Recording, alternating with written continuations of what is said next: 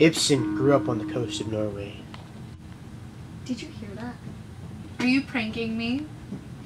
He was considered the father of realism and modern theater. What the hell does that mean? Let's just go back.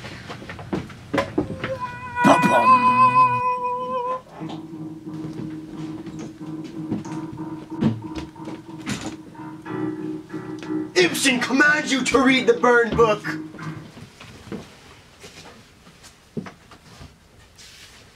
He had a deadbeat alcoholic for a father who went downhill when Henrik was eight. So do I, Ibsen. Deal with it, sissy. Janice, please, this isn't funny.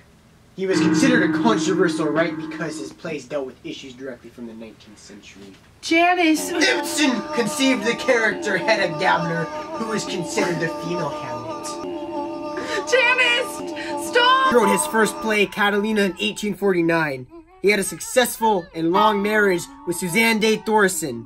He returned to Norway after a self-induced exile of 27 years. Janice, this isn't a good prank. I'm not doing this. he sent money to a boy he never met.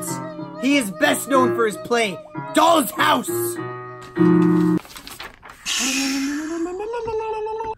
Whew.